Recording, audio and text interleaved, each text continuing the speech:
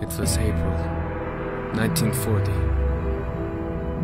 None of us suspected that the Germans would turn their sights toward us. We were Norway. We were neutral. We were safe. Who's your pastor friend now, huh? I find it rather convenient that you'll never actually know. Open your eyes, Peter! Open your eyes! He's trying to turn you against Uncle. me!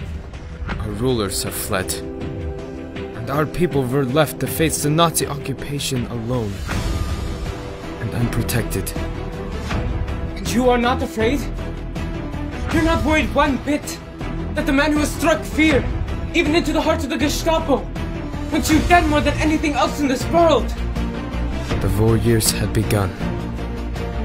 Some refused to bow their knee to the German invaders. Some chose to fight. Some chose to hide.